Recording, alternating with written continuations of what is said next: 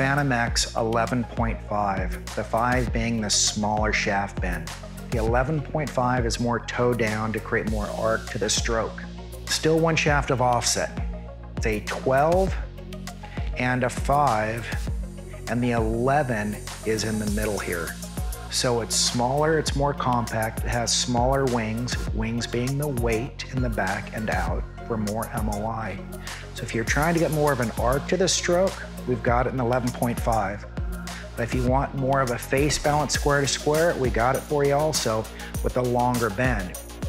So it's the best of all worlds and it's putters that have been used on tour that I design off of what has worked, what do they want, and put it into the new product line.